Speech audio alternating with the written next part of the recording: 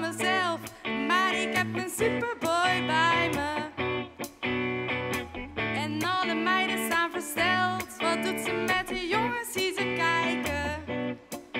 Ik weet ook niet wat het is, zo'n jongen, zo'n lijf en zo'n gezicht. Zo'n goede vriend, omdat hij altijd bij me is.